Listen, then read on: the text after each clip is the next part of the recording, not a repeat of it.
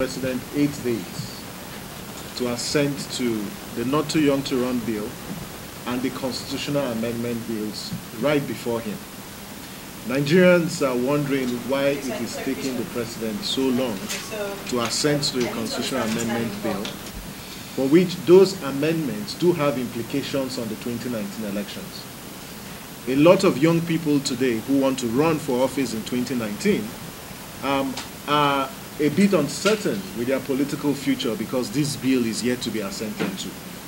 And it is very, very important that the president um, assents to this bill and other constitutional amendment bill because of the urgency that, that it, it, um, it deserves. We know that INEC has released the timetable for 2019. We are very, very aware that the National Assembly will soon be proceeding on recess. Um, and we know that the party primaries and the politicking already began. Now, this delay is threatening the political aspiration of credible and competent young Nigerians who should be encouraged to participate in the process. And we've come to a conclusion that, or we will, come, we will conclude by May 29th, that if the president does not assent to this, then we'll have no choice but to conclude that this is a deliberate attempt to keep young people out of the political process. And it will be most unfortunate that after the National Assembly and the State House of Assembly have voted yes to Not Too Young to Run, and the entire nation has come out to endorse and support Not Too Young to Run, that the President will not assent to this. Yes, sir, my brother. Because in this matter, delay in assenting to Not Too Young to Run bill is actually denial of a political right. And the president ought to treat this with the expediency and the urgency that it deserves. There are thousands of young Nigerians who are out there who want to run for office in 2019. But we know that as soon as the political parties commence their primaries in less than 60 or so days, they won't be able to purchase nomination forms because legally they are not qualified to run. And so it makes a, a mockery of the entire constitution review process. There are a lot of resources that have been spent, public funds have been spent on the constitution review process. This delay is antithetical to democratic principles and it will undermine the institutions of democracy that we all have laid down our lives to protect.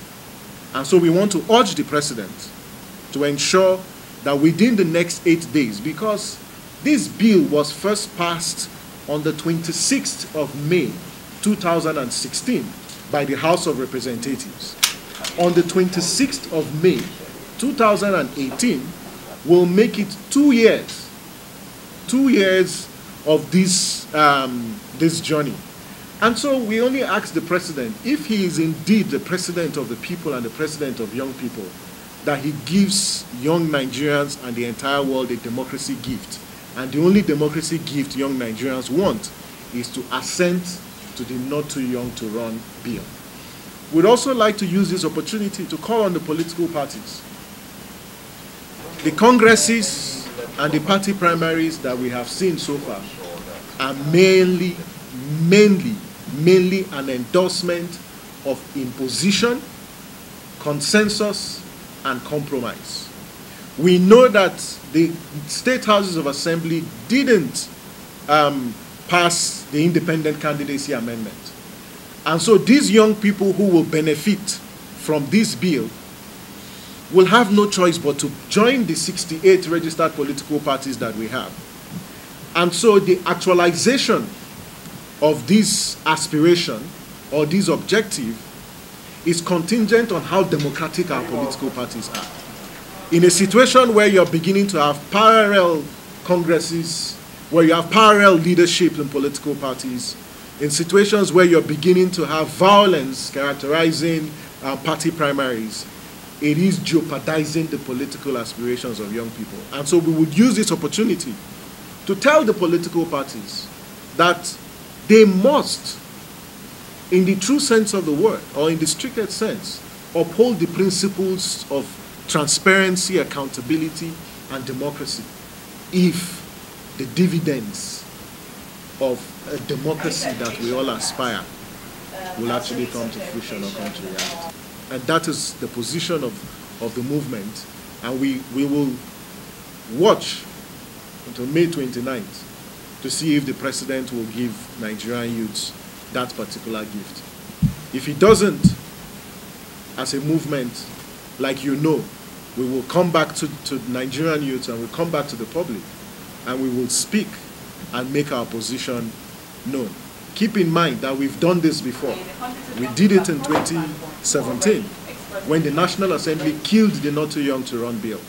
We took a decisive action and Nigerian youths rose up. We will also take very civil and legal action as well in the event that this bill does not is not assented to in due time by the, by the president.